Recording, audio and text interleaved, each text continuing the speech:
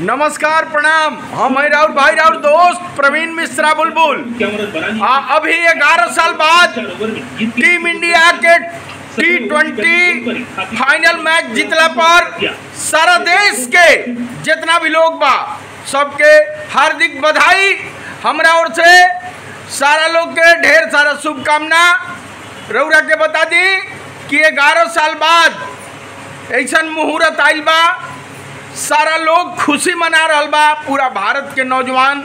जहाँ भी अपना भारत देश के लोग बा वो चाहे अफ्रीका होके, थाईलैंड होके, अमेरिका होके, इंग्लैंड होके, चाहे दुनिया के कोनो देश में, सारा लोग आज खुशी मना रहा बा।